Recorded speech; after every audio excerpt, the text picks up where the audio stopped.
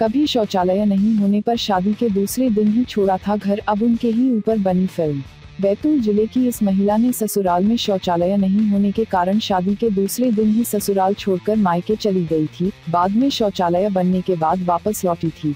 Betul, Mohammad Azharuddin, Mahendra Singh Dhoni, Phogat sister, Sachin Tendulkar के अब बैतूल ज़िले की एक महिला पर आधारित फ़िल्म जल्द रिलीज़ हो रही है।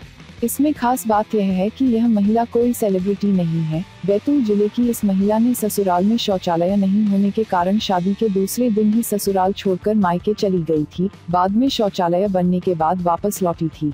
प्रधानमंत्री मोदी के स्वच्छ भारत अभियान को लेकर बनाई जा रही है अक्षय कुमार अभिनीत फ़िल्म टॉयलेट एक प्रेम कथा की जिस अनीता की ज़िंदगी को लेकर लिखी गई। आज हम आपको उनकी कहानी बताएँगे। बैतूल निवासी अनीता ने बताया कि वह शादी के दूसरे दिन ही ससुराल छोड़कर मायके चले गई थी। इसके बाद फिर शौचालय बनने पर घर आई, जिसके बाद उसे राष्ट्रपति और सुलभ इंटरनेशनल द्वारा भी सम्मानित किया गया। अभिनेत्री और डायरेक्टर पहुँचे गाँव।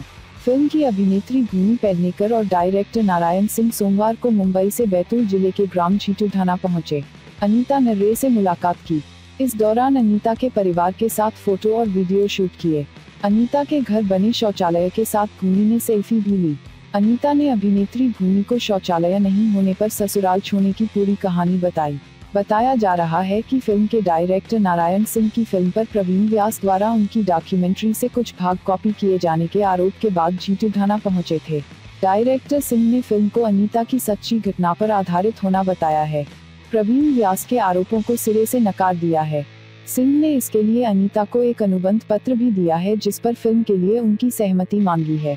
अनीता ने सहमति नहीं दी है। भूमि ने कहा कि अनीता से मिलकर बेहद खुश है। अनीता के साहस का वह सम्मान करती हैं।